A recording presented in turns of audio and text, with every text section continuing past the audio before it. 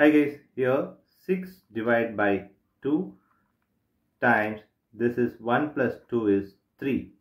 Here 6 divided by 2 times 3 is 6.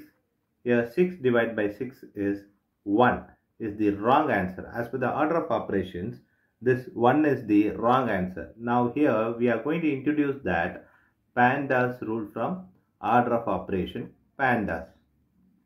Here this is a bracket, this is exponent, M stands for multiplication, D stands for division, A stands for addition, S stands for subtraction. Here multiplication divisions are equal priority.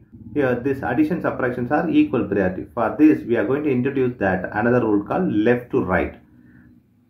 Now we are going to solve this problem in correct way by using this order of operations PEMDAS.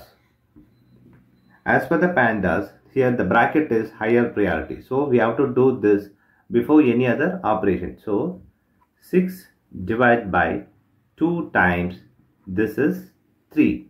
1 plus 2 is 3. Now here we have division and multiplication both are equal priority. We have to follow here left to right rule. Here left to right is this one 6 divided by 2. So 6 divided by 2 is 3 times this 3. Now 3 times 3 is 9.